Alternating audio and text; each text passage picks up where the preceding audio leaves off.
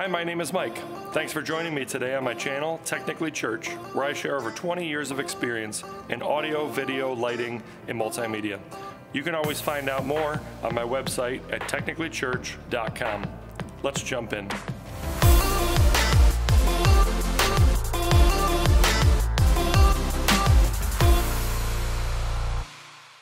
Today we're going to talk about building channel presets on the Behringer Wing. So the scenario today would be, we're going to deal with vocalists. This would uh, work with any channel or any instrument. Um, I have six vocalists on my board, uh, but let's say I have a team of 18 vocalists, and I rotate each weekend through them, uh, six at a time.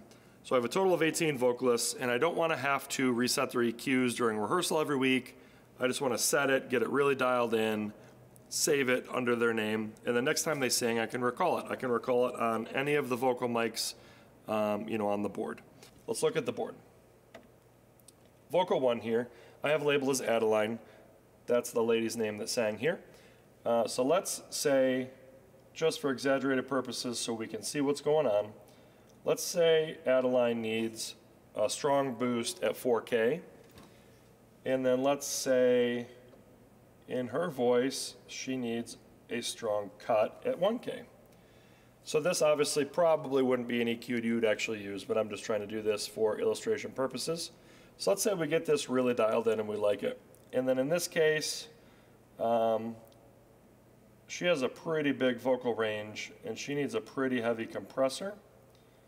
So let's say we're going to put her attack at 15, you know, the ratio at 4 to 1, uh, with a pretty low threshold. So let's say this is working for that vocalist. Obviously, it doesn't matter what the settings are.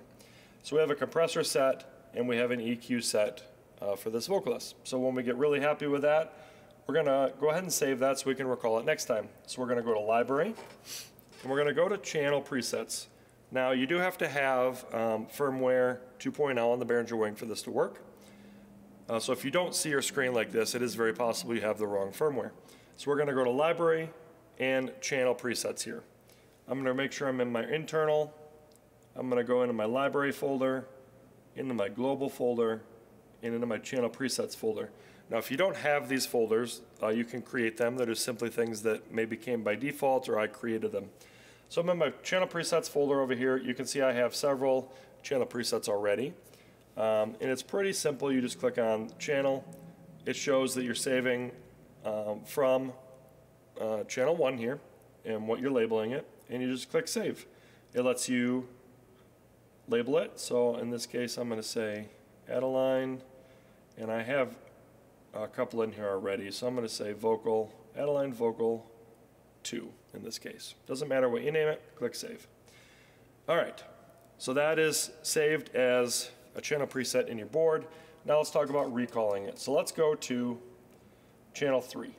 So channel 3 you can see I have a very basic EQ set. It is definitely not the EQ that I had set for Adeline on channel 1. So let's say this week uh, she's going to go ahead and sing on mic 3, so we want to recall her settings. So we're going to, with vocal 3 selected, we're going to go to library. We're going to go to channel, and we're going to browse and find that.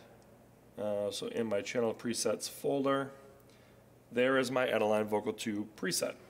So you see over here now, I'm copying currently that preset to channel 1. So I can change this to channel 3. And what do you want to recall of that preset? So it does save everything in that channel strip in there. So you may not want to recall everything. You know, it even saved the mute, the fader, everything that you saved, tags, some different things. So I'm going to say none. And in this case, I just want to bring in the EQ and I want to bring in the compressor, which is under dynamics. So we'll just highlight those. And then we're going to say load. And it says, are you sure? And that's fine. All right, so then if we go back to now channel 3, you can see that exaggerated EQ that I saved earlier is now present on channel 3. So that would be how you save a channel preset and then recall the channel preset. Thanks for joining me today. Again, my name is Mike. You can always find out more on my website, technicallychurch.com, or on my YouTube channel, Technically Church. Look forward to seeing you soon.